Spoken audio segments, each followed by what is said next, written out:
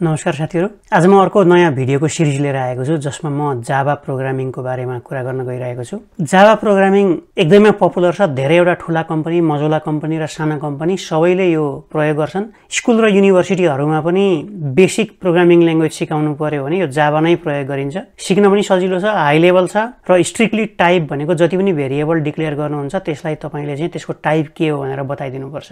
जसको बारेमा म एकैछिनमा बताउने छु। ओरिजिनल्ली यो नाइन्टिन नाइन्टी फाइभमा सन माइक्रो सिस्टम भन्ने कम्पनीले बनाएको थियो।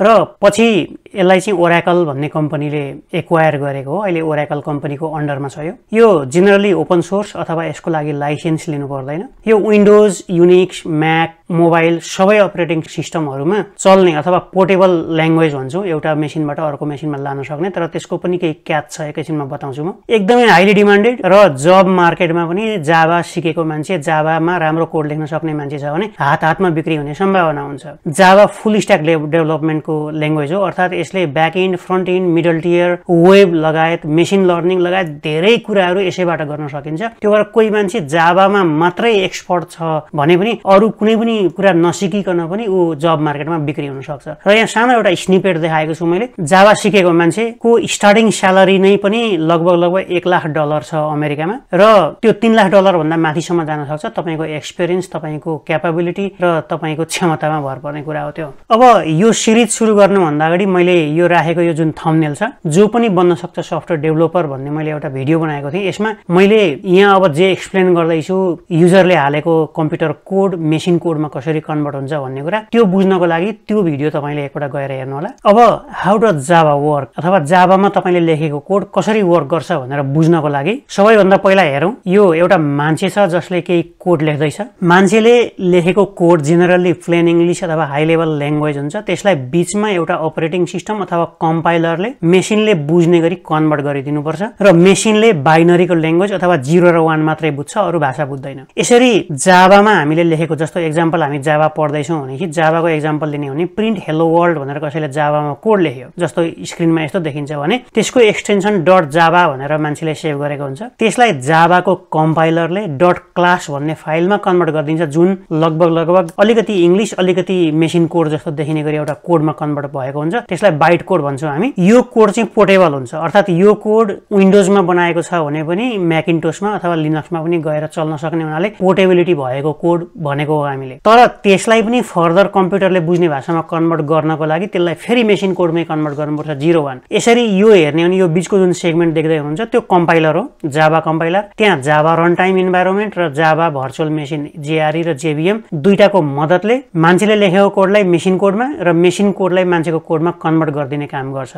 र यहाँनिर याद गर्नुहोस् यो एकदमै फ्रिक्वेन्टली आक्स इन्टरभ्यू क्वेसन हो। तपाईँले इन्टरभ्यूको लागि जाँदाखेरि जेनरली यो सबै क्वेसन जेआरई र जेबिएम र तपाईँले लेखेको जाबाको कोडले मेसिनले कसरी बुझ्छ अथवा कम्पाइल कसरी हुन्छ भन्ने क्वेसन सोध्ने हुनाले अब यस पछाडिका दुईवटा स्लाइड ध्यान दिएर हेर्नु होला। यहाँनिर दुईवटा कन्सेप्ट मैले बताएँ। एउटा जेआरई भने जसलाई full form Java run time environment अर्को जेभिएम भने जसलाई जावा भर्चुअल मेसिन अहिलेको यो पिक्चरमा पनि हेर्नुहुन्छ भने हामीले लेखेको कोडलाई मेसिनले बुझ्ने भाषामा लानको लागि बिचमा कम्पाइलर चाहिन्छ। र यो जेआरई र जेभिएम दुवै कम्पाइलरको पार्ट हो। त्यसैलाई यहाँ हेर्नुहुन्छ भने सिम्प्लिफाइड फर्ममा मैले लेखेको छु। तपाईँले लेखेको जुन कोड छ आइडीमा लेखेको अथवा स्क्रिनमा लेखेको कोड त्यो चाहिँ डट जावा भन्ने फाइलमा सेभ गर्नुहुन्छ तपाईँले। त्यसलाई इन्टरमिडिएट कोड अथवा बाइट कोडमा कन्भर्ट गर्नको लागि जेआरई चाहिन्छ तपाईँलाई। जेआरई भनेको जावाको कम्पाइलरभित्र हुन्छ। जेआरईले तपाईँले लेखेको कोडलाई डट क्लास बाइट कोडमा कन्भर्ट गरिदिन्छ। र त्यो बाइट कोडलाई फेरि मेसिनले बुझ्ने गरी कन्भर्ट गर्नुपर्छ। त्यो काम जेबिएमले गर्छ जावा भर्चुअल मेसिनले यसरी यो जेआरई र जेबिएमको बारेमा अलिकति छोटोमा मैले यहाँ पनि लेखिदिएको छु त्यो याद गर्नु होला। बारम्बार इन्टरभ्यूमा सोध्ने क्वेसन हो यो। र यो चाहिँ मैले एक्जाम्पलको लागि मात्रै मैले जेआरई र जेबिएम छुट्याएर लेखेको हो। तर जावा कम्पाइलरभित्र अथवा जावा एसडिके भित्र दुवै हुने हुनाले यसलाई छुट्याएर कम्प्लिटली छुट्याएर चाहिँ हेर्न मिल्दैन। त्यही पिक्चरलाई मैले फेरि अर्को फर्ममा यहाँ चाहिँ लेखेको छु जस्तो तपाईँले जेडिके भन्नुहुन्छ जेडिके भनेको जावा डेभलपमेन्ट किट। तपाईँले जावा डाउनलोड गर्ने भनेर कसैले भन्यो भने त्यो भनेको तपाईँले जेडिके डाउनलोड गर्दै हुनुहुन्छ। त्यो जेडिके भित्र जेआरई हुन्छ जावा रन टाइम इन्भाइरोमेन्ट र त्यहाँभित्र जेबिएम अथवा जावा भर्चुअल मेसिन हुन्छ। यो साइडमा कम्प्युटर हुन्छ अथवा मेसिन हुन्छ। यो साइडमा तपाईँले लेख्ने आइडिई हुन्छ अथवा जेमा कोड लेख्नुहुन्छ त्यो हुन्छ। यसरी मेसिनको नजिकै जेबिएम हुन्छ। भने आइडिईको नजिकै जेडिके हुन्छ। यति कुरा बुझ्नु होला अब आइडिईको कुरा गरौँ भर्खर पनि हामीले आइडिईको बारेमा कुरा गरौँ। मैले योभन्दा अगाडि राखेको पाइथनको भिडियोमा पनि आइडिईको बारेमा कुरा गरिसकेको छु। धेरै त्यसलाई म बढाउँदिनँ। आइडिई भनेको के भने दुई खालका आइडिई हुन्छन् जेनरली एउटा अनलाइन आइडिई हुन्छ। अर्थात् मैले जसरी पाइथनमा सिकाएको थिएँ त्यसै गरी तपाईँले यो अनलाइन आइडिई प्रयोग गर्नको लागि तपाईँको कम्प्युटरमा केही पनि डाउनलोड गर्नु पर्दैन। इन्टरनेट चाहिन्छ र तपाईँको कम्प्युटरमा अथवा मोबाइलमै पनि गएर ब्राउजर खोल्नुहोस्। मैले अब जे जे कोडहरू सिकाउँछु त्यो सबै कोड त्यसमा टाइप गर्नुहोस् रन गर्नुहोस् डन तपाईँले केही पनि डाउनलोड गर्नु पर्दैन कम्प्युटरै पनि चाहिँदैन। तपाईँले यो वेबाट जानुभयो भने। र मोस्ट अफ द कोड मैले यो आजको लेसनमा जे जे सिकाउँछु त्यो तपाईँले अनलाइन आइडीमै गर्न सक्नुहुन्छ म पनि अनलाइन आइडीमै गरेर देखाउँछु। तर यो भिडियोको अन्त्य अन्त्यतिर म तपाईँले कम्प्युटरमै डाउनलोड गरेर कम्प्युटरमै आइडीको थ्रुबाट चलाउँछु भन्नुभयो भने पनि त्यो कसरी गर्ने भन्ने कुरा म देखाउने छु। त्यसको लागि तपाईँले दुईवटा कुरा डाउनलोड गर्नुपर्ने हुन्छ एउटा जेआरई अथवा जेडिके अथवा जावा डाउनलोड गर्नुपर्ने हुन्छ। र अर्को चाहिँ त्यो त्यसलाई कोड लेख्नको लागि चाहिने आइडी इक्लिप्स अथवा इन्टेलिजी अथवा अरू पनि धेरै छन् म इक्लिप्स डाउनलोड गरेर देखाउने छु तर अन्तिम अन्तिमतिर यसलाई अब हामी एकपटक अनलाइन आइडीमा गएर हेरौँ कस्तो देखिन्छ। अब यसको लागि जावा अनलाइन आइडी भनेर टाइप गर्नुभयो भने जेनरली फर्स्टमै आइरहेको छ।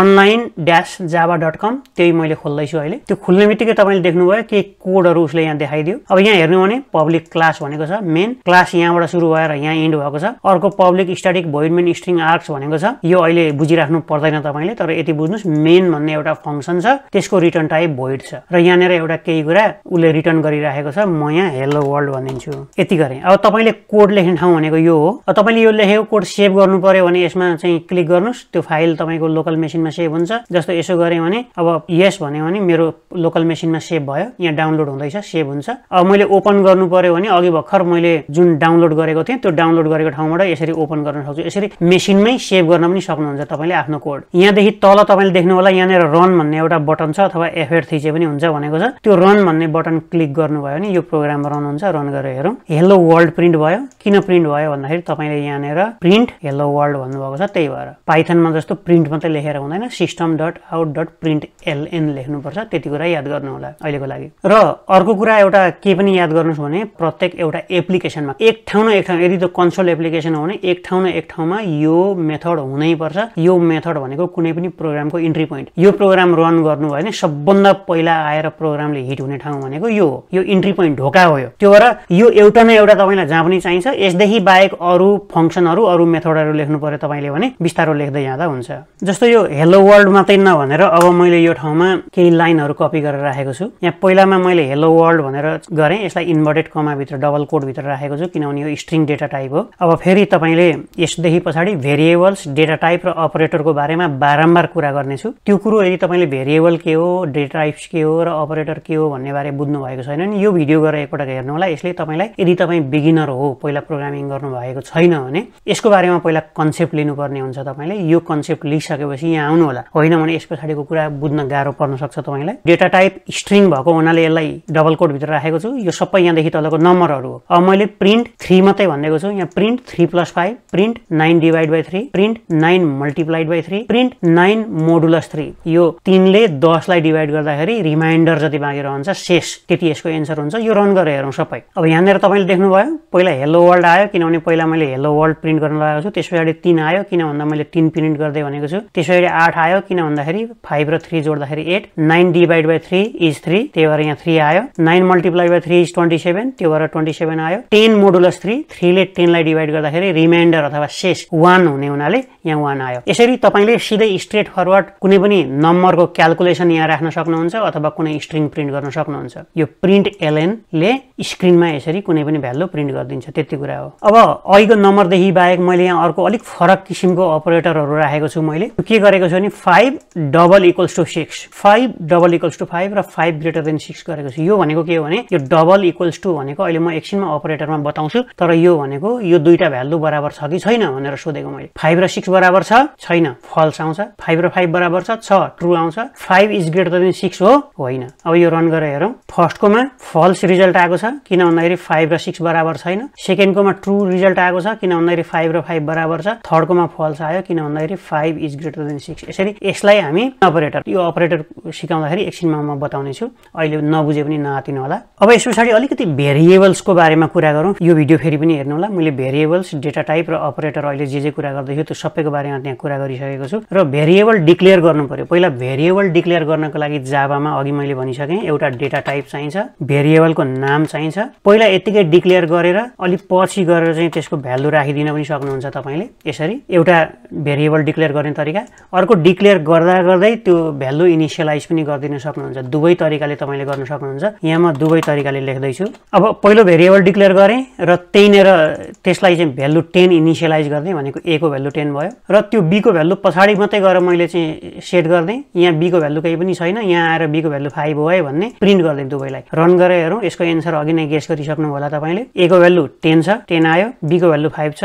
फाइभ आयो। अर्को पनि छ भेरिएबल डिक्लेयर गर्न सक्ने तरिका त्यो पनि म क्विकली बताइहाल्छु। अर्को चाहिँ एउटै लाइनमा जस्तो तपाईँसँग तिनवटा अथवा चारवटा भेरिएबल्सहरू छन् सबै इन्टेजर डेटा टाइप हो भने फरक फरक लाइनमा लेख्नु पर्दैन। ए डी भनेर यसरी एकै ठाउँमा एउटै लाइनमा पनि डिक्लेयर गर्न सक्नुहुन्छ। यदि यो सबैको भ्यालु तपाईँले यहीँ असाइन गर्नु पर्यो भने यहीँनिर सिधै असाइन गर्दै हुन्छ। यसरी सबै भेरिएबल्सहरू इन्टेजर डेटा टाइप र सबैको भ्यालु असाइन गर्नुभयो। यदि यहाँनिर गएर तपाईँले डी र सी र डीको भ्यालु प्रिन्ट गर्नुभयो भने सी र डीको भ्यालु प्रिन्ट हुन्छ। रन गरेर हेरौँ यसलाई। यहाँ देख्नुभयो मैले सी र डीको भ्यालु प्रिन्ट गरेको थिएँ। सी र डीको भ्यालु प्रिन्ट भयो। तर मेन मैले देखाउन खोजेको चाहिँ के भने यदि सबै चारवटा भेरिएबल्सहरू छन् एबिसिडी सबैलाई एउटै लाइनमा डिक्लेयर गर्नु पर्यो भने यसरी डिक्लेयर गर्न सक्नुहुन्छ तपाईँले। र अघि मैले छोटकरीमा कमेन्टको बारेमा बताएको थिएँ। त्यो कमेन्ट भनेको के भने तपाईँले एउटा सिङ्गल लाइनमा कमेन्ट लेख्नु पर्यो भने जस्तो यो डबल स्ल्यास लेखेर तपाईँ आफ्नो कमेन्ट लेख्न सक्नुहुन्छ। यो भनेको अब प्रोग्राम रन हुँदाखेरि यो इग्नोर गर्छ उसले। यदि मल्टिपल लाइनमा तपाईँले कमेन्ट लेख्नु छ भने स्ल्यास गरेर एस्टरिक गर्नुहोस् इन्टर थिच्नुहोस् अनि फेरि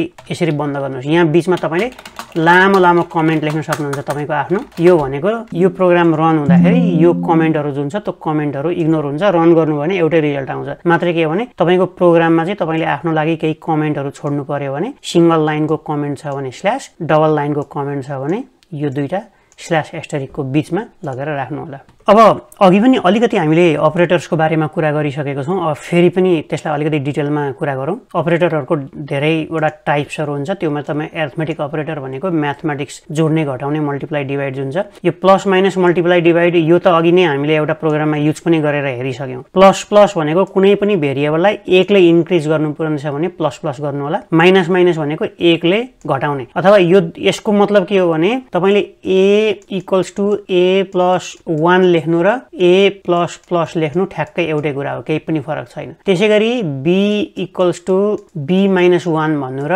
बी माइनस माइनस भन्नुको बिचमा केही पनि फरक छैन। त्यसै गरी असाइनमेन्ट अपरेटर्सहरू छ। अघि मैले भने एक्स इक्वस टु फाइभ भन्नुभयो।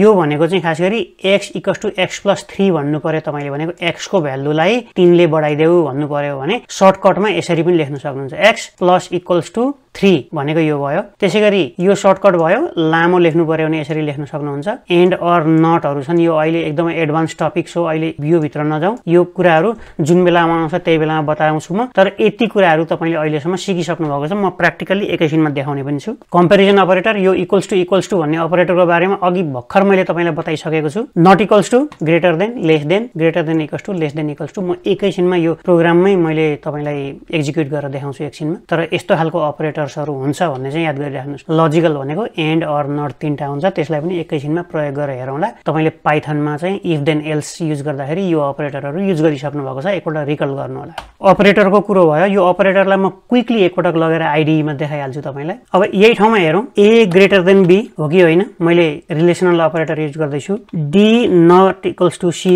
right हो कि होइन? अब यो रन गरेर हेरौँ एकपल्ट। यहाँ मैले अपरेटर केही अपरेटरहरू युज गरेको छु याद गर्नु होला। मैले यो रन गरेँ भने रिजल्ट के आउँछ किन त्यस्तो रिजल्ट आयो एकपल्ट हामी हेरिहालौँ क्विकली जस्तो देख्नुभयो पहिला फल्स आयो। किन फल्स आयो होला भन्दा a greater than b a greater than b भनेको five is greater than ten हो। होइन त्यो भएर फल्स आएको हो। D not equals to c d र सीको भ्यालु बराबर छ कि छैन? छैन। त्यो भएर ट्रु भएको हो। D not equals to c यदि बराबरी छैन भने ट्रु आउँछ बराबरी थियो भने फल्स हुन्थ्यो। यो चाहिँ बराबर छ भने ट्रु आउँछ। जस्तो डी र सीको भ्यालु बराबर छ भएदेखि ट्रु आउँथ्यो छैन त्यो भएर फल्स आयो। यसरी यो अपरेटरहरू हामी क्रमशः अब जति प्रोग्राम लेख्दै जान्छौँ त्यो ठाउँमा युज गर्दै जान्छौँ। अहिले बुझेन भने पनि नआतिनु होला। तर एकपटक सर र योभन्दा अगाडि मैले जुन अपरेटरको स्लाइड देखाएको थिएँ त्यहाँ गएर प्रत्येक अपरेटरहरू कस्तो रहेछ भन्ने कुरा एकपल्ट बुझ्न चाहिँ बुझिराख्नु होला। तर डेली लाइफमा तपाईँले प्रयोग गरिराखेकै कुरा हो यो। अब डेटा टाइप्सतिर जाउँ। फेरि पनि म एकपटक रिपिट गर्न चाहन्छु यहाँ। यही भिडियोले जे जे बताएको छ त्यही भिडियोकै कुरा म बताउँदैछु। नयाँ कुरा बताएको छैन। त्यो भएर फेरि पनि यो भिडियो एकपल्ट गएर हेर्नु होला। जावामा दुई किसिमका डेटा टाइप्सहरू हुन्छन्। एउटालाई प्रिमिटिभ डेटा टाइप अथवा प्राइमरी डेटा टाइप भन्छौँ। जुन चाहिँ जावाभित्रै इनबिल्ड भएर आएको हुन्छ। त्यो चाहिँ इन्टेजर जसलाई हामी इन्ट मात्रै पनि भन्छौँ। फ्लोटिङ पोइन्ट जसलाई हामी फ्लोट भन्छौँ। क्यारेक्टर जसलाई हामी सिएचएआर भन्छौँ र बुलियन जसलाई हामी बुल भन्छौँ। अनि नन प्रिमिटिभ डेटा टाइप भनेको चाहिँ हामी जस्तै कोही युजरहरूले लाइब्रेरी बनाएर राखिदिएको अथवा हामीले प्रोग्राममा लेखेको त्यो चाहिँ क्लास इन्टरफेस अथवा एरे अथवा एरे लिस्ट धेरैवटा हुन्छ। त्यो चाहिँ नन प्रिमिटिभ डेटा टाइप हो। अब यो नम्बर डेटा टाइप हेरौँ। नम्बर डेटा टाइप अघि मैले भने बुलियन र क्यारेक्टरको बारेमा अघि नै हामीले कुरा गरिसक्यौँ। बुलियन भनेको ट्रु र फल्स मात्रै हुन्छ। क्यारेक्टर भनेको एउटा मात्रै अक्षर हो। जस्तो ए भन्ने एउटा अक्षर छ सिङ्गल कोडभित्र राख्नु भने त्यो क्यारेक्टर भयो। तर हेलो भन्नुभयो तपाईँले यो चाहिँ धेरैवटा क्यारेक्टर भयो धेरैवटा अक्षर भयो यो स्ट्रिङ भयो त्यो भएर यसलाई डबल कोडभित्र राख्नुहुन्छ। अब यो सबै न्युमेरिक डेटा टाइप अथवा इन्टेजर डेटा टाइप प्रिमिटिभ अब यहाँनिर चाहिँ के भने जेनरली हामी आइएनटी युज गर्छौँ तर हाम्रो आवश्यकता अनुसार हामी बाइट अथवा सर्ट पनि युज गर्न सक्छौँ लङ फ्लोट अथवा डबल पनि युज गर्न सक्छौँ तर जे युज गऱ्यो भने यो सबै नम्बरहरूमा युज हुने डेटा टाइप यो हो। एकैछिनमा म तिनीहरूको युज पनि बताउँछु। एउटा कुरा याद गर्नु होला तपाईँले यदि फ्लोट हो भने त्यो नम्बर लेखेर नम्बरको अन्तिममा एफ लेखेको छ त्यो कुरा याद गर्नु होला। अहिले एकछिनमा प्रोग्राम गर्दा देखाउँछु म। डबल डेटा टाइप हो भने नम्बर मात्रै लेखेर हुँदैन। त्यसको पछाडि डी पनि लेखिदिनुपर्छ। त्यति कुरा याद गर्नु होला। अब इन्टेजर डेटा टाइप अहिले भर्खर भनिसकेँ मैले यति किसिमका इन्टेजर डेटा टाइप हुन्छन् र सबभन्दा सानो इन्टेजर डेटा टाइप यो सबभन्दा ठुलो यता छ। तपाईँ जति ठुलो प्रयोग गर्नुहुन्छ यसले कम्प्युटरमा मेमोरी त्यति नै धेरै खान्छ त्यो भएर नचाहिँदो किसिमले ठुल्ठुलो डेटा टाइपहरू युज गर्नु पनि ब्याड प्रोग्रामरको ह्याबिट हो। त्यो भएर राइट डेटा टाइप चुज गर्नु पनि एकदमै इम्पोर्टेन्ट छ। त्यो भएर इन्टरभ्यूमा तपाईँलाई क्वेसन सोद्धाखेरि कुनै एउटा प्रोग्राम लेख्दाखेरि त्यो ठाउँमा किन इन्ट प्रयोग गरेको किन सर्ट प्रयोग नगरेको गरेको अथवा किन लङ प्रयोग गरेको भनेर क्वेसन सोध्न सक्छ त्यो बेलामा तपाईँलाई जवाफ दिन सक्नुपर्छ। जति ठुलो डेटा टाइप तपाईँले प्रयोग गर्नुभयो त्यसले कम्प्युटरको मेमोरी त्यति नै बढी खान्छ कम्प्युटर स्लो हुन्छ त्यो विचार गर्नु पर्यो तपाईँले। तर त्यो सँगसँगै रेन्जको पनि कुरा आउँछ जस्तो तपाईँले बाइट भन्नुभयो भने माइनस एक सय अठाइसदेखि एक सय सत्ताइससम्मको नम्बर मात्रै सेभ गर्न सक्छ। जस्तो तपाईँले एउटा कोही मान्छेको स्यालेरी फाइभ थाउजन्ड छ फर इक्जाम्पल त्यो स्यालेरीलाई तपाईँले बाइट भनेर डिक्लेयर गर्नुभयो भने यो रङ भयो। किन रङ भयो भन्दाखेरि यो बाइट डेटा टाइप तपाईँले डिक्लेयर गर्नुभयो गऱ्यो भने त्यसले माइनस एक सय अठाइसदेखि माइनस एक सय सत्ताइससम्मको मात्रै भ्यालु होल्ड गर्न सक्छ। तर यहाँ तपाईँले पाँच हजार राख्नुभएको छ। त्यो भएर this is a bad data type short राख्दा हुन्छ कि हुँदैन? बत्तिस हजारसम्मको भ्यालु उसले होल्ड गर्न सक्छ। त्यो भएर short can be a good data type here यसरी कुन डेटा टाइप युज गर्ने भन्ने कुरा पत्ता लगाउनु होला। प्रोग्राम रन गर्दा रङ हुँदैन तर कम्प्युटर रन हुँदाखेरि कम्प्युटर स्लो हुन सक्ने सम्भावना हुन्छ। त्यो भएर प्रोफेसनल प्रोग्राम राइटरहरूले यो कुरा याद गर्नु पर्यो। त्यसै गरी अघि मैले भने यो चाहिँ डेसिमल पोइन्ट भएको नम्बरहरू छ भने फ्लोट हुन्छ अर्को डबल हुन्छ। डबल हो भने डी फ्लोट हो भने एफ लेख्नुपर्छ। त्यसै गरी क्यारेक्टर डेटा टाइप क्यारेक्टर भनेको एउटा अक्षर जस्तो ए लेख्नु पर्यो तपाईँले सिङ्गल कोडभित्र राख्नु पर्यो। बुलियन भनेको ट्रु र फल्स अघि मैले बताइसकेको छु। अहिले एकछिनमा प्रोग्राम गर्दा पनि देखाउँदा अब यहाँ एउटा लामो प्रोग्राम लेखेको छु मैले अब यसलाई लगेर कम्प्युटरमा लगेर देखाउँछु। मैले अघि स्लाइडमै देखाएको जस्तो जस्तै लाग्ने कपी गरेर आइडीमा राखेको छु। अब यो रन गरेँ भने हुन त मैले केही पनि प्रिन्ट गरेको छैन तर रन गरेँ भने केही पनि एरर आउँदैन यहाँ तल हेर्नु होला। अब यहाँ एक दुईवटा टेस्ट गरौँ हामीले। अघि मैले यो साइडमा देखाएको जुन स्लाइड थियो त्यो स्लाइडमा भनेका कुराहरू याद गर्नु छ बाइटको जम्मा क्यापासिटी एक सय सत्ताइस एक माइनस वान ट्वेन्टी एटदेखि प्लस वान ट्वेन्टी सेभेनसम्म मात्रै हुन्छ भनेको थिएँ। यसमा मैले लेट्से टु हन्ड्रेड हालिदिएँ अब बाइटमा। भने र रन गरेँ भने के हुन्छ? एकपटक हेरौँ। एरर आयो। भनेको दुई सय भ्यालु राख्न पाउनुहुन्न। म्याक्सिमम् तपाईँले राख्न पाउने भनेको one hundred twenty seven that's it त्यही भएर त्यसको रेन्ज थाहा पाउनु पऱ्यो तपाईँले। त्यो भएर यसको चाहिँ बाइट जम्मा एक बाइट मात्रै एकदमै सानो स्टोरेज लिन्छ उसले। त्यहीखेरि सर्टमा बत्तिस हजार सात सय सडसठी भन्दा बढी ठुलो नम्बर राख्न पाउनुहुन्न। जस्तो तपाईँले यो सर्टमा फिफ्टी थाउजन्ड राख्न खोज्नुभयो भने रन गऱ्यो भने के हुन्छ? एकपटक हेरौँ। यहाँ पनि पशुले लस अफ कन्भर्सन भन्यो। पाउँदैन। तर बत्तिस हजारभन्दा सानो नम्बर राख्न खोज्नु भएर रन गर्नु गर्नुभयो भने एरर केही पनि आउँदैन। किन भन्दाखेरि यसको रेन्ज माइनस थर्टी टू थाउजन्डदेखि प्लस थर्टी टू थाउजन्डसम्म त्यसै गरी इन्टेजरमा हो भने यति ठुलो नम्बर र लङमा हो भने अझै त्योभन्दा पनि ठुलो नम्बर राख्न सक्नुहुन्छ। त्यो भएर डेटा टाइप डिफाइन गर्दाखेरि कत्रो भ्यालु राख्ने हो तपाईँले त्यही अनुसारको डेटा टाइप राख्नु एकदमै इम्पोर्टेन्ट छ भनेर मैले देखाउन खोजेको हो। त्यसै गरी डबल भनेको छु मैले र डबलमा लास्टमा डी लेख्नुपर्छ भने मैले तर डी लेखेको छैन। डी नलेखे पनि अटोमेटिकली उसले बुझ्छ डी लेख्यो भने नि फरक पर्दैन। तर फ्लोटमा चाहिँ अन्तिममा एफ लेख्नै पर्छ होइन भने एरर आउँछ। हो कि होइन भनेर चेक गर्नको लागि जस्तो यसमा एफ हटाइदिएँ मैले अब रन गरेँ। डबल टु फ्लोट डबल हो कि फ्लोट हो उसले थाहा पाएन। त्यो भएर फ्लोट डेटा टाइप हो भने अन्तिममा एफ लेख्नै पर्छ। तर डी चाहिँ लेखे पनि हुन्छ नलेखे पनि हुन्छ अघि मैले भनेको थिएँ। यो क्यारेक्टर भन्ने बित्तिकै एउटा मात्रै अक्षर लेख्न पाउँछ त्यो पनि सिङ्गल कोडमा राख्नुपर्छ तपाईँले। धेरैवटा राखेर सिङ्गल कोड गर्नुभयो भने के हुन्छ? रङ भयो। एउटा मात्रै राख्ने ठाउँमा धेरैवटा राख्नुभयो। यसरी धेरैवटा राख्ने भने यसलाई डबल कोडभित्र राख्ने र त्यो डेटा टाइपलाई क्यारेक्टर होइन। स्ट्रिङ बनाउने जसरी यहाँ मैले गरेको छु। र क्यारेक्टर भयो भने ए नै लेख्नुपर्छ भन्ने छैन। जस्तो फाइभ पनि हुनसक्छ यो पनि क्यारेक्टर हो। नम्बर हुँदा हुँदै पनि एउटा सिङ्गल कुरा भएको हुनाले त्यो पनि क्यारेक्टर हो। त्यो कुरा याद गर्नु अब टाइप कास्टिङ भन्ने अथवा टाइप कन्भर्सन पनि भन्छ यसलाई। यसको अर्को एउटा कन्सेप्ट छ। त्यो कन्सेप्ट के छ भने अघि मैले देखाएको टेबल यहाँनिर पनि राखेको छु मैले। यो क्यारेक्टर र बुलियनलाई एकछिन छोडिदिउँ। यो न्युमेरिक डेटा टाइपलाई जहिले पनि टाइप कन्भर्सन गर्दा सानो नम्बरबाट ठुलो नम्बरतिर तपाईँले लाँदै हुनुहुन्छ भने त्यसलाई वाइडेनिङ भन्छ। ठुलो बनाउने ठुलो बनाउने र ठुलो डेटा टाइपबाट सानो डेटा टाइपतिर लाँदै हुनुहुन्छ भने त्यसलाई न्यारोइङ भन्छ। र जहिले पनि टाइप कन्भर्सन गर्दाखेरि यहाँनिर दुईवटा एक्जाम्पल दिएको छु मैले याद गर्नु होला। एउटा मैले पहिला यहाँनिर छ हेर्नुहोस् यो इन्टेजर लिएको छु। र त्यो इन्टेजरलाई मैले डबल बनाउन खोज्दैछु। यो माई इन्ट भन्ने जुन छ त्यो माई इन्टलाई लगेर यहाँनिर राखेको छु। भनेको पहिला इन्टेजर थियो अब त्यसलाई डबल बनाउन खोज्दैछु मैले भनेपछि वाइडेनिङ गर्दैछु। वाइडेनिङ गर्ने हो भने तपाईँले टाइप कास्टिङ गरिराख्नु पर्दैन। अटोमेटिकल्ली यो तपाईँको इन्टेजर जुन थियो त्यो डबलमा कन्भर्ट हुन्छ। एन्सर आउँदाखेरि नाइन पोइन्ट जिरो भएर आउँछ किनभने डबल हुने बित्तिकै डेसिमल गर्नुपर्छ। अर्को सेकेन्डकोमा हेरौँ तपाईँले डबल डेटा टाइप डिफाइन गर्नुभएको छ। माई डबल भन्ने जुन डेटा टाइप छ त्यही डेटा टाइपलाई लगेर यहाँनिर राख्नु भएको छ। तर त्यसलाई डबलबाट इन्टेजर बनाउन खोज्दै हुनुहुन्छ तपाईँले। अब नाइन पोइन्ट सेभेन एट थियो त्यसको भ्यालु तपाईँले इन्टेजर बनाउन खोज्नुभयो भने अब यस्तो बेलामा चाहिँ तपाईँले के गर्नुभयो तपाईँको भ्यालु डबल थियो।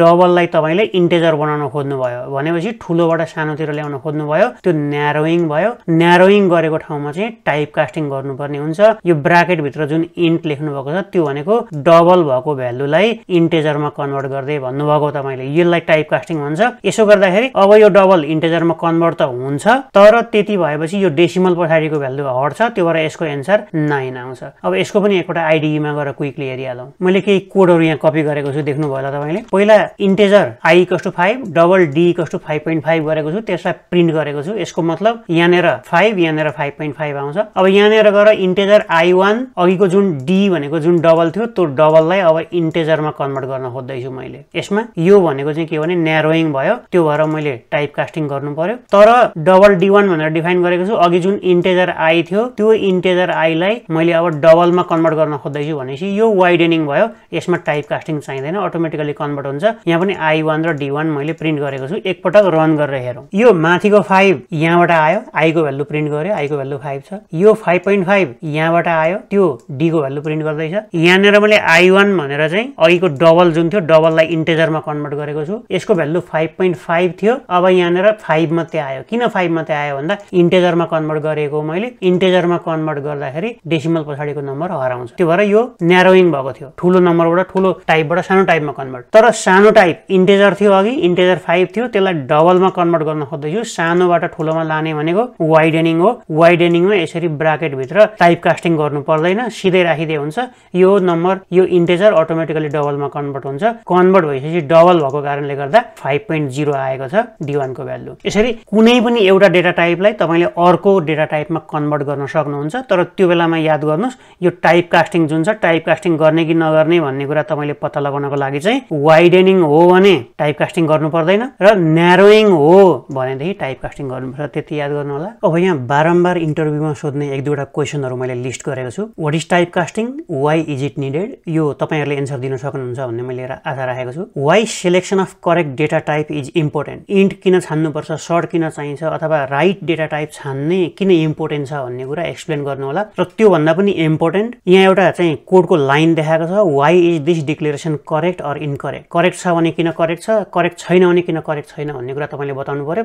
सर्ट भन्ने एउटा एउटा डेटा टाइप राखेको छु। स्यालेरी भन्ने एउटा भेरिएबल छ। त्यसको भ्यालु यो छ। यो ठिक कि बेठिक? ठिक भने किन ठिक? बेठिक भने किन एडियाबेटिक यो एन्सर दिनु होला आशा छ तपाईँले दिन सक्नुहुन्छ। अब हामी अर्को कन्सेप्टमा जाउँ। त्यो अर्को कन्सेप्ट भनेको कन्ट्रोल फ्लो यो मैले कन्ट्रोल फ्लोको कन्सेप्ट पाइथन फर बिगिनर भन्ने जुन सिरिज बनाएको थिएँ त्यसको पार्ट टूमा एक्सप्लेन गरेको छु। त्यो भिडियो एकपल्ट गएर हेर्नु होला। तर जेनरली यसको सिन्ट्याक्स हेर्दाखेरि इफ भन्छौँ हामी। अनि त्यो इफको ब्लक यहाँबाट सुरु भएको छ। त्यो इफको ब्लक यहाँनिर इन्ड भएको छ भनेको यतिभित्र लेखेको कुरा इफ भयो। एल्स इफ भन्नुहुन्छ अर्को कन्डिसन राख्नुहुन्छ। त्यसको ब्लक यहाँनिर छ। एल्स भन्नुहुन्छ यदि यो कन्डिसन मिट भयो भने यहाँभित्रको कोड एक्जिक्युट हुन्छ। यो कन्डिसन मिट भयो भने यहाँभित्रको कोड एक्जिक्युट हुन्छ र यो मध्ये कुनै पनि कन्डिसन मिलेन भनेदेखि यहाँभित्र गएर कोड एक्जिक्युट हुन्छ। यसको एकवटा कोड लेखेर हेरौँ हामीले आइडिईमा पहिला एकदमै सिम्पल एउटा कोड लेखौँ। इन्ट एक्सको भ्यालु ट्वेन्टी छ वाईको भ्यालु एटिन छ integer if X is greater than Y भनेको एक्सको भ्यालु वाईको भ्यालुभन्दा बढी भयो भनेदेखि यो प्रिन्ट गर्दै भन्नुभएको छ तपाईँले। इफको ब्लक क्लोज भयो यो फङ्सनको ब्लक क्लोज भयो यो क्लासको ब्लक क्लोज भयो। यसरी वाईको भ्यालुभन्दा एक्सको भ्यालु ठुलो छ भने यहाँभित्रको कुरो प्रिन्ट हुन्छ। होइन भने प्रिन्ट हुँदैन। एकपल्ट रन गरेर हेरौँ। यहाँनिर एक्स चाहिँ वाईभन्दा ठुलो भएको हुनाले यहाँभित्रको प्रिन्ट भयो। तर यो ठाउँमा मैले टू मात्रै राखेर चाहिँ रन गरेँ भने अब केही पनि रिजल्ट आउँदैन। किनभने यदि ठुलो भयो भने मात्रै यहाँभित्रको कुरो प्रिन्ट गर भनेको छु। सानो भयो भने के गर्ने भनेर मैले बताइदिएको छैन। त्यो भएर केही पनि रिजल्ट आएन। तर यही ठाउँमा तपाईँले एल्स भनेर यति लेखिदिनु भएको भए अघि चाहिँ इफ मात्रै थियो। X is greater than Y भयो भने यो प्रिन्ट गर। होइन भने यो प्रिन्ट गर भनेपछि यदि एक्सको भ्यालु ठुलो भयो भने यहाँ आउँछ। एक्सको भ्यालु सानो भयो भने यहाँ आउँछ। अब यो केसमा हामीले दुई बनाइसकेको छौँ। त्यो भएर तलको ब्लकमा पसेर यो स्मलर देन वाइ भनेर प्रिन्ट हुन्छ। यति हो। दुईटा कन्डिसन भयो। यदि दुईटा भन्दा ठुलो धेरैवटा कन्डिसन राख्नु पर्यो भने चाहिँ बिचमा else if else if else if राख्दै जाने। अन्तिममा मात्रै एल्स राख्ने। एकवटा त्यो पनि हेरिहालौँ। अब यहाँनिर मैले एउटा सानो कोड कपी गरेको छु। त्यहाँनिर इन्ट भनेर एउटा टाइम भन्ने भेरिएबल डिफाइन गरेको छु। त्यसको भ्यालु ट्वेन्टी टू छ अहिले। अब यहाँ हामीले एउटा कन्डिसन राखेको थियौँ। If time is less than ten त्यसले गुड मर्निङ प्रिन्ट गर्छ। लेस देन टेन भयो भने यहाँ पस्छ।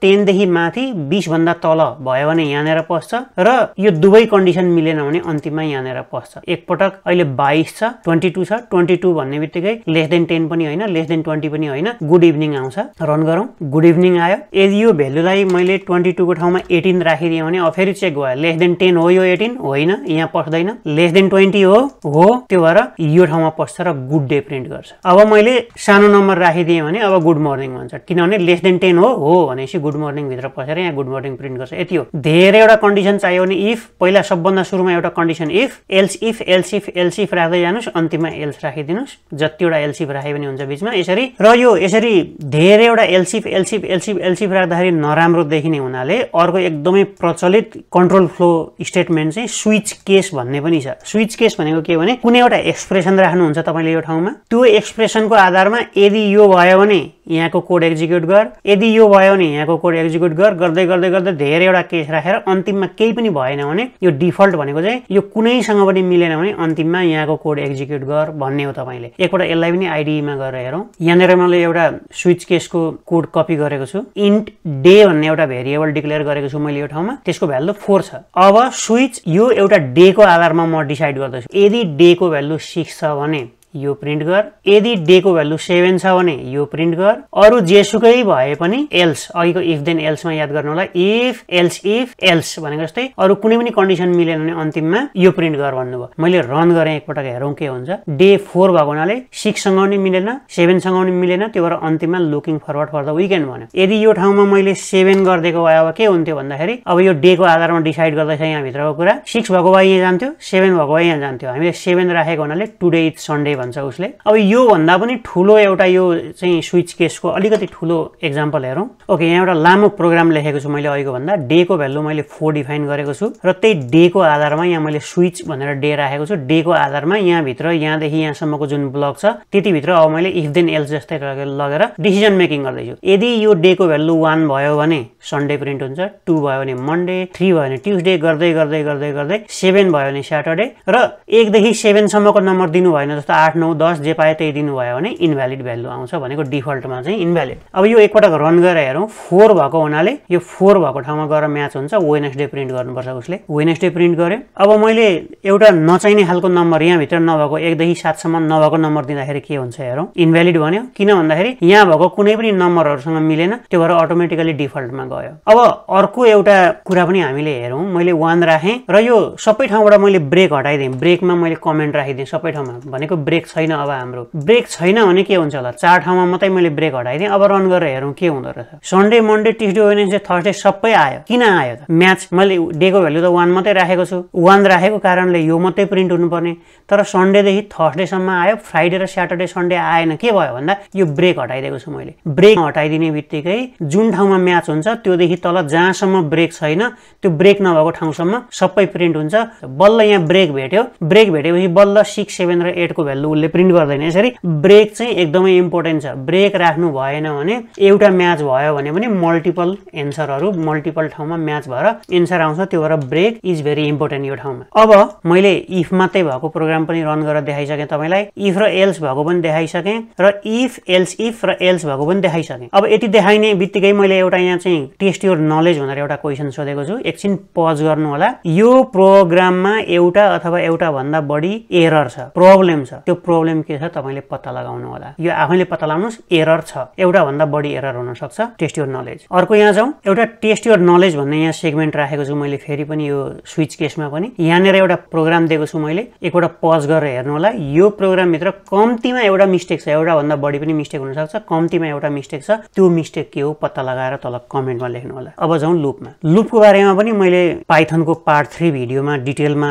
मैले बताइसकेको छु। एकपटक त्यो भिडियो गरेर हेर्नु होला। त्यही पनि लुप भनेको जेनरली प्लेन इङ्ग्लिसमा हेर्नुहुन्छ भने कुनै पनि काम रिपिटेटिभ एगेन एन्ड एगेन गर्ने हो भने त्यसलाई लुप भन्छौँ। अथवा कुनै एउटा सर्कल छ जो घुमेको घुमै गर्छ भने त्यसलाई पनि लुप भन्छौँ हामी। अब यहाँनिर एउटा एक्जाम्पल दिँदैछु मैले हेर्नु होला लुपको जस्तो यहाँ वाइल लुपबाट सुरु गरेँ। एउटा वाइल भन्छौँ हामी अनि वाइलभित्र एउटा कन्डिसन राख्छौँ। A is greater than B I is less than five भनेर कुनै एउटा कन्डिसन राख्छौँ। त्यो कन्डिसन मिट भएसम्म यहाँबाट ब्लक स्टार्ट भएको छ यहाँनिर ब्लक इन्ड भएको छ। यतिभित्र लेखेको कोडहरू यो कन्डिसन मिट हुन्जेलसम्म रन भएको भए भएको भए भएको भए गर्छ। जति बेला कन्डिसन मिट हुँदैन तब बल्ल एक्जिट हुन्छ। जस्तो यो ठाउँमा एकपटक हेर्नुभयो भने पहिला आईको भेल्यु जिरो राखेको छौँ हामीले र कन्डिसन चेक गरेको छौँ आईको भेल्यु लेस देन फाइभ जबसम्म आईको भेल्यु लेस देन फाइभ हुन्छ त्यति बेलासम्म त्यो आईको भेल्यु प्रिन्ट गरिराख। यो आईको भेल्यु प्रिन्ट गरिराख भनेको छु र आईलाई एक एकले बढाउँदै जानुहोस् आई प्लस प्लस भनेको I equals to I I plus one भनेको भनेको एक। पहिला आईको भेल्यु जिरो भयो प्रिन्ट भयो। भनेको सबभन्दा पहिला जिरो प्रिन्ट भयो। अर्थात् यो प्रोग्राम रन गर्ने हो भने one two three four print हुन्छ। अब यही प्रोग्रामलाई हामीले फर भन्ने लुप प्रयोग गरेर पनि गर्न सक्छौँ। वाइल भनेर यहाँनिर जुन कन्डिसन दिनुभएको थियो र यहाँभित्र केही इन्क्रिमेन्ट डिक्रिमेन्ट र केही प्रिन्ट गर्नुभएको थियो तपाईँले। त्यसै गरी फरमा पनि त्यही गर्ने हो। पहिला फर्स्ट नम्बर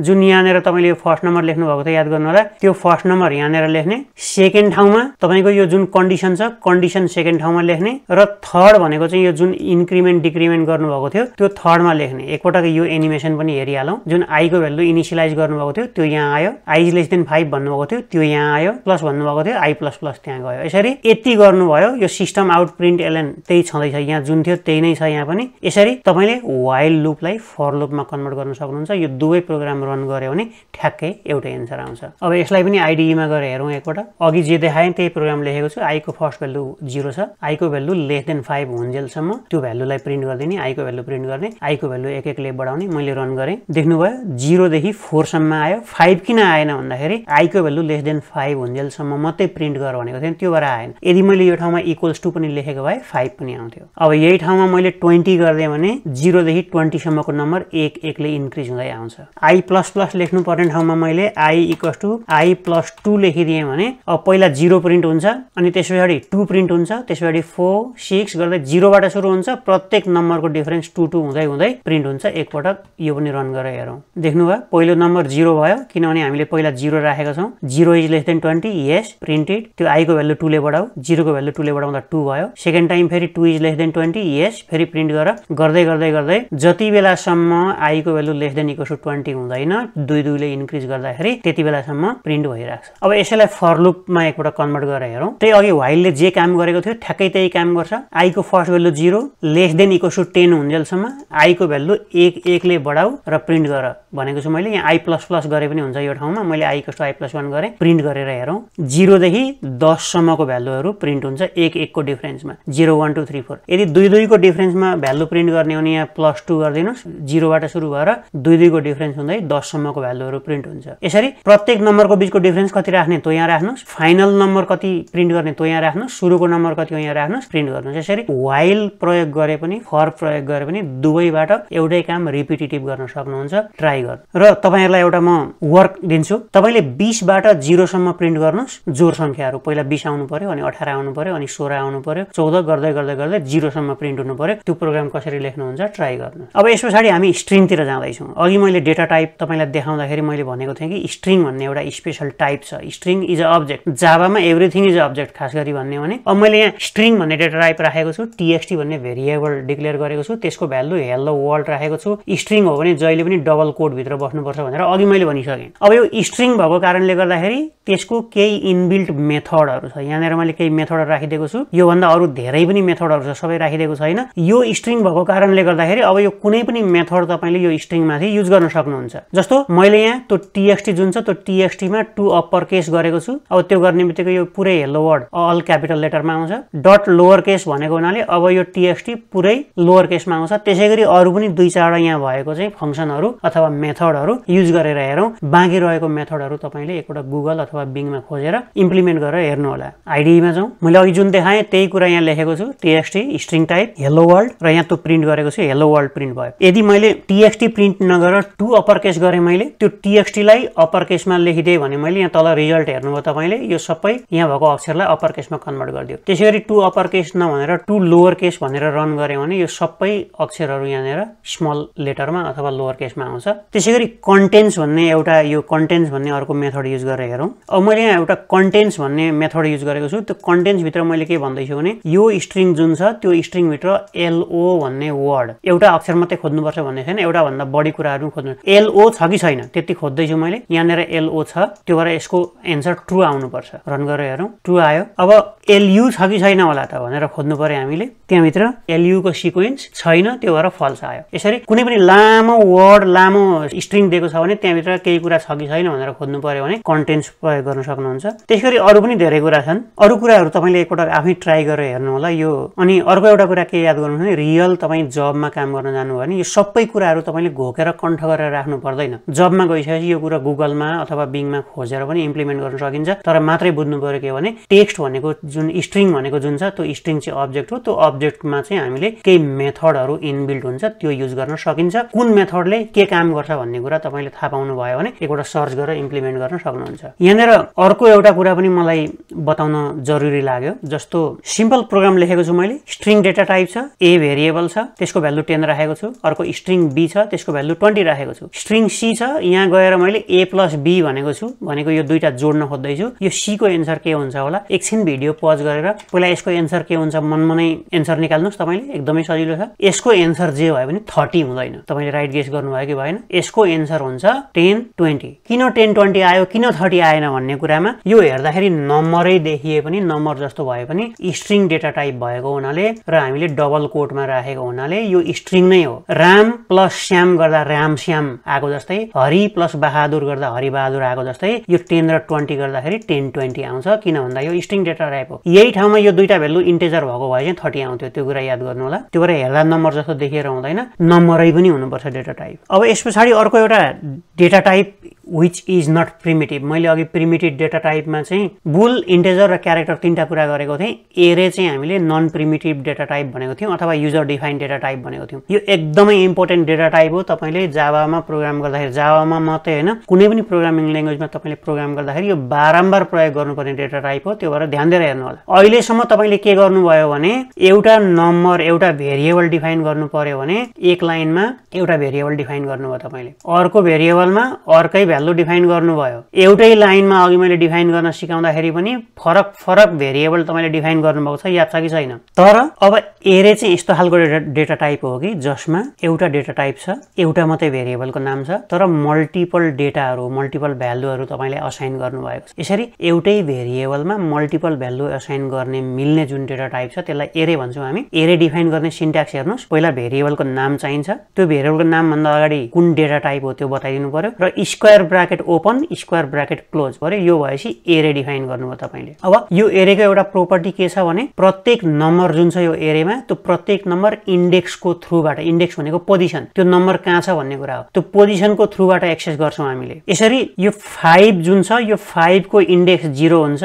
टेनको इन्डेक्स वान हुन्छ फिफ्टिनको टू हुन्छ र ट्वेन्टीको थ्री हुन्छ। यसरी इन्डेक्स जिरोबाट सुरु भएर अगाडि अगाडि बढ्दै जान्छ। त्यही कुरो मैले यहाँनिर देखाएको छु। पहिला इन्डेक्स राखेको छु अनि भ्यालु राखेको छु। यही नम्बरहरू फाइभ टेन फिफ्टिन ट्वेन्टीलाई यहाँ राखेको छु। प्रत्येकको इन्डेक्स के हो भन्ने कुरो मैले यहाँ डिफाइन गरेको छु। यसरी एरेमा इन्टरनल्ली यसरी बसेको हुन्छ। तपाईँले अब एरेको भ्यालुलाई चेन्ज गर्नु पर्यो एरेको भ्यालु एक्सेस गर्नु पर्यो प्रिन्ट गर्नु पर्यो भने इन्डेक्सको थ्रुबाट गर्नुपर्ने हुन्छ। त्यो कुरो याद गर्नु होला जस्तै फर एक्जाम्पल मैले यो ठाउँमा गएर प्रिन्ट नम्स टू भने मैले त्यो भनेको के हो भने नम्स भन्ने जुन एरे छ विच इज दिस गाई त्यसमा सेकेन्ड इन्डेक्समा भएको भ्यालु मलाई प्रिन्ट गरेर देखाऊ भने सेकेन्ड इन्डेक्समा भएको भ्यालु के छ त भनेर यहाँ गएर हेर्दाखेरि सेकेन्ड इन्डेक्समा भएको भ्यालु फिफ्टिन छ। त्यो भएर यसको एन्सर फिफ्टिन हुन्छ। यहाँ मैले फेरि के गर्दैछु? नम्स भनेको चाहिँ एरे यो एरेमा सेकेन्ड इन्डेक्समा भएको जुन भ्यालु छ विच इज फिफ्टिन त्यो भ्यालुलाई अब फिफ्टी बनाइदेऊ। भनेको फिफ्टिनको सट्टामा अब सेकेन्ड पोजिसनमा लगेर फिफ्टी राखिदेऊ भनेको। त्यसै गरी तपाईँले प्रिन्ट नम फाइभ भन्नुभयो त्यो नम्स भन्ने एरेको फिफ्थ पोजिसनमा जे छ त्यो प्रिन्ट गरिदेऊ भनेको। फिफ्थ पोजिसनमा के छ? केही पनि छैन। जिरो वान टू थ्री छ। फोर्थ पोजिसनमा पनि केही पनि छैन। फिफ्थ पोजिसनमा पनि केही पनि छैन। यो गर्यो भने हामीले यो एरर हुन्छ आउट अफ इन्डेक्स भनेको किनभने फिफ्थ पोजिसनसम्मको भ्यालु हामीले डिफाइनै गरेको छैन। अर्को एउटा एक्जाम्पल मैले यहाँ के देखाएको छु भने एउटा एरे डिफाइन गरेको छु स्ट्रिङ टाइप एरे त्यहाँभित्र यो भ्यालु राखेको छु जसमा जिरो पोजिसनमा यो छ वान पोजिसनमा यो छ टू पोजिसनमा यो छ थ्रीमा यो छ। अब मैले लुप गरेको छु लुप फर लुप लगाएको छु आईको भ्यालु जिरोबाट सुरु हुन्छ र कार्स डट लेन्थ यो कार्स भनेको यो लेन्थ भनेको कतिवटा छ यहाँ भन्दा चारवटा छ। जिरो आईको भ्यालु लेस देन फोर हुन्जेलसम्म एउटा एउटाले बढाउँदै जाऊ र कार्स आई प्रिन्ट गर। कार्स आई भनेको के हो भन्दा सबैभन्दा पहिला कार्स जिरो हुन्छ। कार्स जिरो भनेको भोल्भो प्रिन्ट गर्ने। अनि त्यस पछाडि एकले इन्क्रिज हुन्छ। कार्स वान हुन्छ। कार्स वान भनेको बिएमडब्लु प्रिन्ट गर्ने। त्यस पछाडि टू हुन्छ। फोर्ड प्रिन्ट गर्ने। यसरी यहाँभित्र भएका सबै कारहरू प्रिन्ट गर्छ यसले। यसैलाई फेरि अर्को तरिकाले पनि तपाईँले फरलुप लगाउन सक्नुहुन्छ। यो एरे भएको हुनाले। त्यो भनेको के भने कार्स भन्ने फेरि पनि तपाईँको एउटा एरे छ। तर अब यत्रो लामो झन्झटिलो सिस्टमबाट जानु पर्दैन। स्ट्रिङ भन्नुहोस् किनभने यहाँभित्र भएको प्रत्येक नम्बरहरू स्ट्रिङ हो यो एरे स्ट्रिङको टाइप हो। आई एउटा भेरिएबल भन्नुहोस् के को? भन्दाखेरि कार्स यो जुन कार्स भन्ने तपाईँले एरे डिक्लेयर गर्नुभएको थियो त्यहाँभित्र भएको प्रत्येक एलिमेन्ट्सहरू जुन छ त्यो एलिमेन्टलाई मैले आई भन्दैछु त्यो एलिमेन्टहरू प्रिन्ट गरिदियो। यसरी यो माथिको प्रोग्राम र यो प्रोग्रामले ठ्याक्कै एउटै काम गर्छ। यसलाई आइडीमा एकपटक हेरौँ। पहिला यहाँनिर मैले एउटा एरे डिफाइन गरेको छु। मैले कार्सको जिरो इन्डेक्समा भएको भ्यालु प्रिन्ट गर भने जिरो इन्डेक्समा के छ भन्दा भल्भो यसले भल्भो प्रिन्ट गर्नु पर्यो। अब मैले यो ठाउँमा थर्ड पोजिसनमा भएको प्रिन्ट गरिदियो भने थर्ड पोजिसनमा जिरो वान टू थ्री माझ्दा माझ्दा प्रिन्ट हुने भयो। अब त्यही ठाउँमा मैले फोर्थ पोजिसनमा भएको प्रिन्ट गरिदियो भने zero one two three fourth पोजिसनमा केही पनि छैन त्यो भएर एरर आउँछ। किन भन्दाखेरि त्यहाँनिर आउट अफ बााउन्ड भनेको फोर्थ पोजिसनमा केही पनि छैन। यो कुरो अघि नै मैले बुझाइसकेको छु। यसैलाई अब हामीले लुपमा प्रिन्ट गर्नु पर्यो। अब यहाँ भएको प्रत्येक एलिमेन्ट्सहरू फ्ल्याटली प्रिन्ट गर्नु पर्यो भने के गर्ने भन्ने कुरा मैले यहाँ एउटा कोड कपी गरेको छु हेर्नु होला आईको value zero cars dot length यहाँ जतिवटा एलिमेन्ट छ सबै त्यही। भनेको यो अघि नै मैले भनिसकेँ चारवटा भएकोले फोर आई प्लस प्लस अघिको लुपमा यो पढिसक्नु भएको छ। अब जेनरल्ली हामीले यहाँनिर प्रिन्ट आई गर्थ्यौँ। प्रिन्ट आई गर्दाखेरि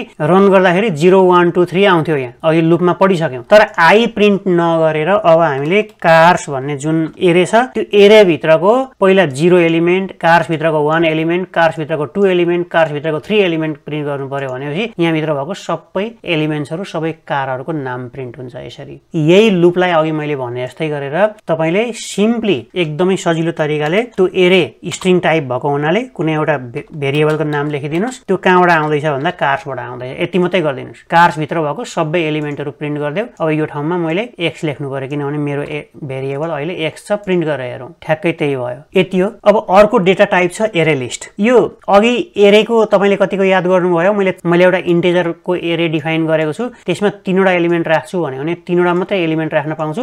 चौथो एलिमेन्ट मैले राख्न पाउँदिनँ। अर्थात् एरे फिक्स साइजको हुन्छ जहिले पनि। तर त्यसको अपोजिट एरे लिस्ट डाइनामिक भनेको एकपटक डिफाइन गरेपछि यतिवटा एलिमेन्ट राख्छु भन्ने छैन जतिवटा राखे पनि हुन्छ। जस्तो फर इक्जाम्पल यहाँनिर मैले एरे लिस्ट डिफाइन गरेको छु कतिवटा राख्छु भनेर मैले भनेको छैन। एरे डट एड गर्दै गर्दै जतिवटा हजारवटा राख्न मन लाग्छ राख्न पाउनुहुन्छ आउट अफ बााउन्ड हुँदैन। एउटा फरक त्यो भयो। एरेभित्र तपाईँले जुन एरे डिफाइन गर्नुभएको छ इन्ट भन्नुभयो स्ट्रिङ भन्नुभयो बुल भन्नुभयो तिनीहरूमा जेनरल्ली प्रिमिटिभ डेटा टाइप र अब्जेक्ट्स दुवै खालको डेटा टाइपहरू राख्न पाउनुहुन्छ। तर एरे लिस्ट जुन छ यो एरे लिस्टले चाहिँ अब्जेक्ट डेटा टाइप मात्रै राख्न पाउँछ। यहाँनिर एउटा डिफरेन्स याद गर्नुभयो भएन। एरेमा मैले स्मल इन्ट भनेर लेखेको छु। इन्ट भनेको अब्जेक्ट होइन। इन्टेजर भनेको चाहिँ अब्जेक्ट हो। त्यो भएर इन्टेजरै डेटा टाइप राख्नु पर्यो भने पनि आइएनटी लेख्ने होइन। पुरै इन्टेजर यो अप्पर केस भएको लेख्नुपर्छ। यो भनेको अब्जेक्ट हो। यसरी एरे लिस्टले चाहिँ अब्जेक्ट मात्रै लिन्छ। यहाँ इन्ट लेख्न पाउनुहुन्न। भने एरेले चाहिँ इन्ट मात्रै पनि लिन्छ। पुरै इन्टेजर लेख्नु पर्दैन तपाईँले। दोस्रो फरक। अरू पनि केही फरकहरू छन्। बिस्तारै हामीले अहिले आइडीमा गएर प्रोग्राम लेख्दा थाहा पाउँछौँ। तर एउटा कुरा याद गर्नुहोस् के भने इन्टरभ्यूमा बारम्बार सोध्ने एकदमै फ्रिक्वेन्टली सोध्ने पपुलर क्वेसन भनेको के हो भने what is difference between array and array list काम उस्तै उस्तै गर्छ ठ्याक्कै। एउटा भेरिएबलभित्र मल्टिपल एलिमेन्ट स्टोर गर्ने हो दुवैले दुवै होमोजिनियस डेटा टाइप भनेको मैले इन्टेजर राख्छु भनेपछि यहाँभित्र इन्टेजरै इन्टेजर राख्नु पर्यो स्ट्रिङ मिसाउन पाउँदिनँ एरेमा त्यसै गरी एरे लिस्टमा पनि मैले इन्टेजर राख्छु भनेपछि यहाँभित्र इन्टेजरै इन्टेजर राख्नु पर्यो स्ट्रिङ मिसाउन पाउँदिनँ। दुवै होमोजिनियस दुवै रेन्डमली एक्सेस्ड सिमिलारिटी भन्ने भने फरक के त भन्दाखेरि यहाँनिर एउटा फरक मैले यहाँ बताइदिइसकेको छु अर्को फरक यहाँनिर बताइदिइसकेको छु। अरू पनि फरक छन्। अब प्रोग्राम गरेर हेरौँ अनि त्यस पछाडि हामीलाई थाहा हुन्छ। आइडीमा जाउँ। पहिला यहाँ सम्झिन सजिलो होस् हामीलाई हेर्न सजिलो होस् भनेर मैले यहाँ एरे लिस्ट राखेको छु यहाँ एरे राखेको छु। यहाँ पनि स्ट्रिङ टाइप छ यहाँ पनि स्ट्रिङ टाइप छ। मैले एकपल्ट क्विकली रन गरेर मात्रै हेरेँ केही पनि गर्दिनँ। अब यहाँनिर हेर्नुभयो होला उसले के भन्दैछ भने can not find the symbol भनेको यो एरे लिस्ट भन्ने कुरा के हो मैले बुझिनँ भन्दैछ। अर्को एउटा डिफरेन्स तपाईँले के थाहा पाउनु भयो भने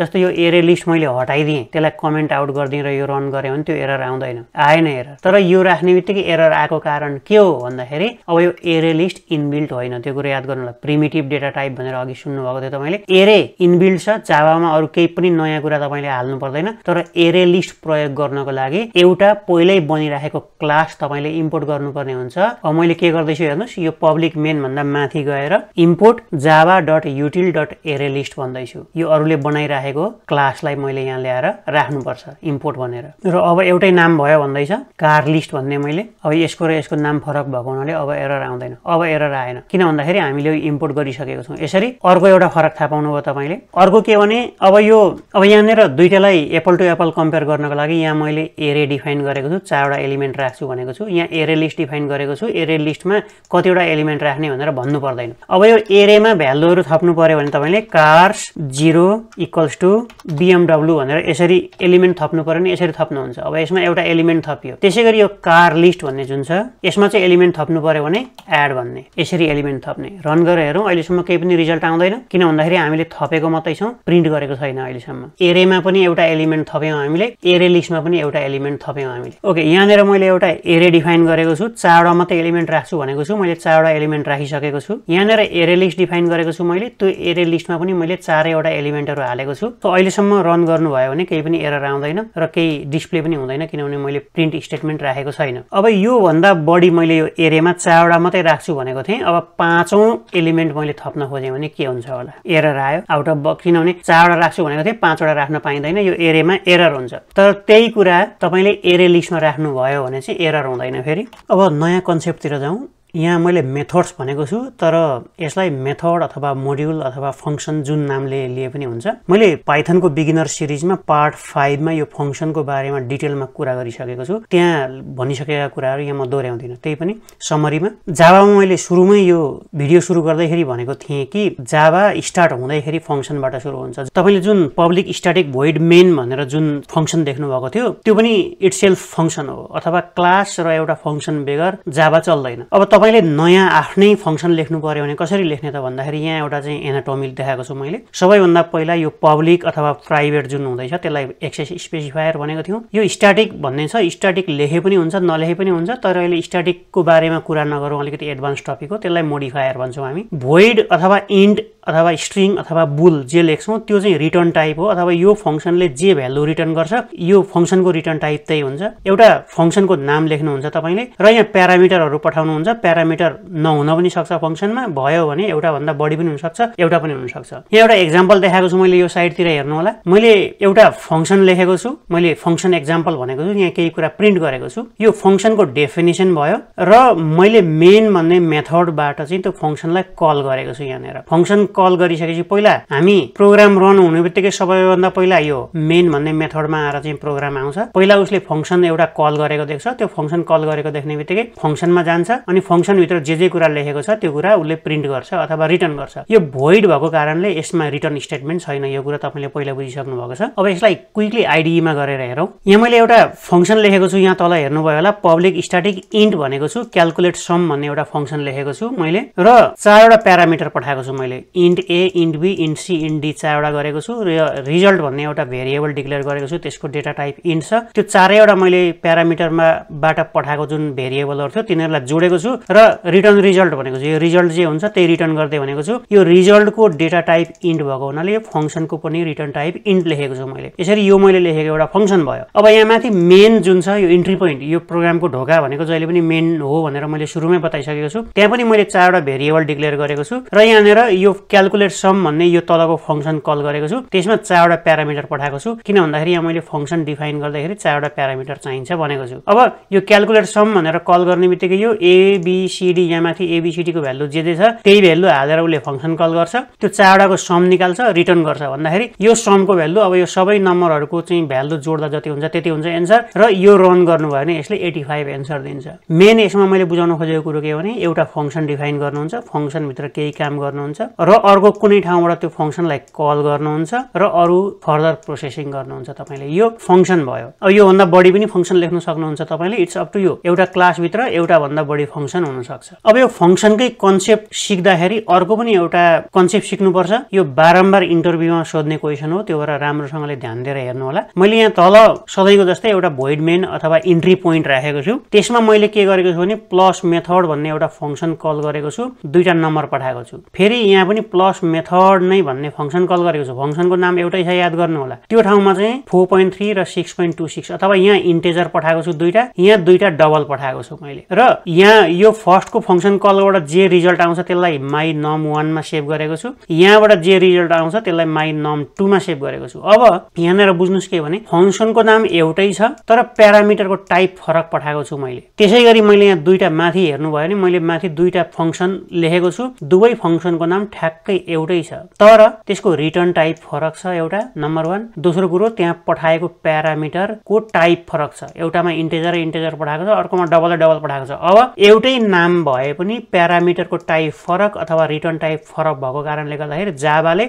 आफै कुन चाहिँ मेथड कल गर्नुपर्ने हो भन्ने मैले उसले आफै थाहा पाउँछ। जस्तो यहाँ दुइटै इन्टेजर पठाउनु भएको र यसको रिटर्न टाइप पनि इन्टेजर भएको हुनाले जाबाले आफै फर्स्टको चाहिँ मेथड कल गर्नुपर्ने रहेछ मैले भन्ने कुरा अटोमेटिकली थाहा पाउँछ। त्यसै गरी सेकेन्डमा नाम उस्तै भए पनि प्यारामिटर पठाउँदाखेरि डबल पठाउनु भएको छ र त्यसको रिटर्न टाइप पनि तपाईँले डबल डिफाइन गर्नुभएको हुनाले उसले अटोमेटिकली ए यो मेथड भनेको मैले सेकेन्डको मेथड कल गर्नुपर्ने रहेछ भनेर उसले आफै थाहा पाउँछ। यसलाई पनि एकवटा क्विकली आइडिईमा गएर हेरिहालौँ। भोइड मेन भनेको इन्ट्री पोइन्ट यहाँनिर छ। यहाँनिर मैले प्लस मेथड भनेको ठ्याक्कै मेथडको नाम एउटै राखेको छु दुइटैको मेथड कल गरेको छु। पहिलोको रिटर्न टाइप इन्टेजर राखेको छु दोस्रोको दोस्रोको रिटर्न टाइप डबल राखेको छु मैले। मेथडको नाम एउटै छ तर पास गर्दाखेरि पहिलोकोमा दुइटै इन्टेजर पास गरेको छु दोस्रोकोमा दुवै डबल पास गरेको छु। अब यहाँ तल हेर्नुभयो भने एउटै नाम गरेको दुईवटा मेथड डिफाइन गरेको छु। यसको रिटर्न टाइप इन्ट छ यसको रिटर्न टाइप डबल छ। यसमा प्यारामिटर इन्ट लिएको छु यसमा प्यारामिटर डबल लिएको छु। यसले रिटर्न गर्दाखेरि इन्टेजर टाइप रिटर्न गरेको छ यसले रिटर्न गर्दाखेरि डबल टाइप रिटर्न गरेको छ। अब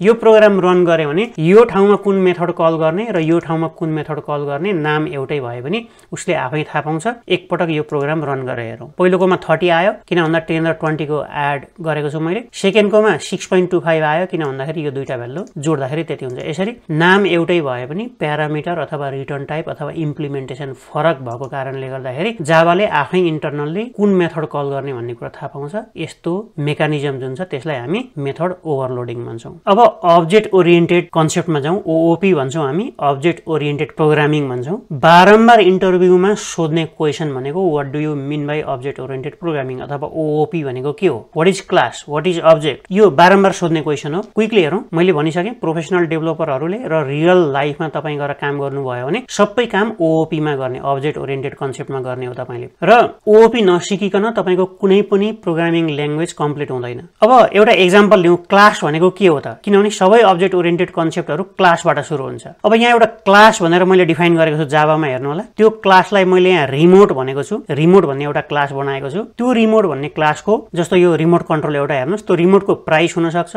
त्यो रिमोटको कलर हुनसक्छ। मेनुफ्याक्चर जस्तो दुईवटा रिमोट देखाएको छु मैले। दुईवटा रिमोटमा दुवैको प्राइस फरक हुनसक्छ दुवैको कलर फरक हुनसक्छ दुवैको मेनुफ्याक्चरर फरक हुनसक्छ। र फङ्सन स्टप भन्यो भने यसको स्टप गर्ने तरिका फरक त्यसको स्टप गर्ने तरिका फरक होला। चेन्ज च्यानल भन्यो भने यसको फरक होला त्यसको फरक होला अथवा एउटाले च्यानल चेन्ज गर्न सक्ने अर्कोले गर्न नसक्ने होला। यसरी इम्प्लिमेन्टेसन जे छ त्यसलाई फङ्सन भन्छौँ हामी। अघि भर्खर फङ्सन पढिसकेको छौँ। र यो भित्रको प्रोपर्टिज भन्छौँ यसलाई हामी कस्तो कलर छ कति प्राइस छ वेट कति छ भन्ने खालको कुरा। र यो क्लासलाई हामीले इन्स्टेन्सिएट गर्छौँ र केही प्रोपर्टीहरू रिड गर्छौँ। यसलाई म एकैछिनमा बताउँछु। तर रियल लाइफको एक्जाम्पल दिने भने जस्तो एनिमल भनेको एउटा क्लास भयो। त्यो एनिमलभित्र मान्छे पनि एनिमल हुनसक्छ क्याट एनिमल हुनसक्छ मङ्की एनिमल हुनसक्छ त्यो अब्जेक्ट्सहरू भयो। प्रोपर्टिज हेर्नुहुन्छ भने सबै एनिमलको आई हुन्छ इयर हुन्छ हेयर हुन्छ त्यो प्रोपर्टिजहरू भयो र मेथड भन्नुहुन्छ भने उनीहरूले जे काम गर्छन् जस्तो स्पिक वाक टक यो सबै मेथडहरू भयो अथवा फङ्सन भयो। यसरी क्लास एउटा ऱ्यापर हो बन्डल हो त्यति कुरा याद गर्नु होला अलिकति अगाडि जाउँ अब यहाँनिर म